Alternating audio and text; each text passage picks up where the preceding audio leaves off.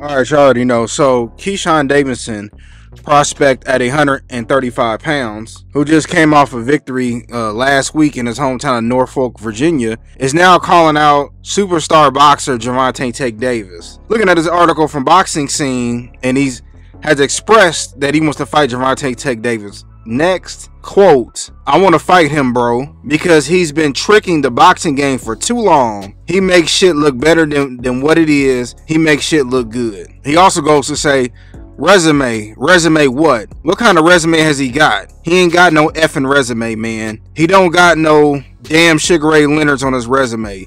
He don't got no Marvin Hagler, no real deal fighters like that. He got fighters. We all know he's going to win.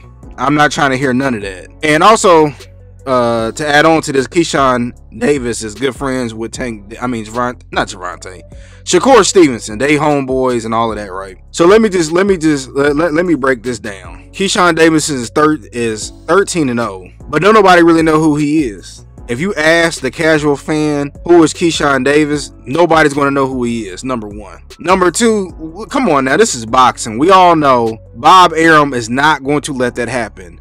Why would Bob Arum throw away his investment, a 13 0 fighter, for a Gervonta Tank Davis? Because you pretty much feeding him to the wolves at that point. And while I agree Tank Davis really ain't fought nobody on his resume, he's he has a bigger name than you, and he's fought better fighters than you have. And then another thing, why why would Gervonta Tank Davis fight Keyshawn Davis. For what? I mean, listen, if, if, if it were to happen, cool, but come on now. We all know that that's not, that we all know it's not going to happen. It's just not. It ain't going to happen no time soon. Keyshawn Davis, he would have to at least win a belt, build his name up to where if you walk down the street, you hey, you heard of Keyshawn Davis? Who? Who? You know, and there's no disrespect to the young brother. Look, if he fight Tank and win, cool. But all this calling out, all this WWE type shit, we all know that it's not going to happen. It's just not. You know, so what if so if Keyshawn, dude, if you want to get your yo yo yo uh, if you ever want to fight Tank and it probably be two, three years down the line, you know, Tank, Tank Davis claims he got a hit list, maybe you can get added on there.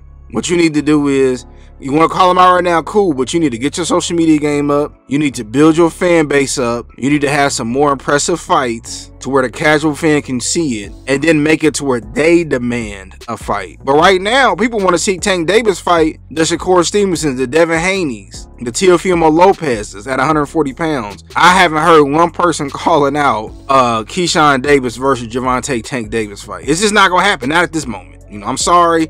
I'm sorry. Y'all can call me a hater and all of that, but it's just no, no, no. Nobody's gonna look at that fight and say, "Man, Keyshawn has a chance." I just he, he he's still a young prospect. So I just want to get my quick thoughts about it. Tell me what y'all think.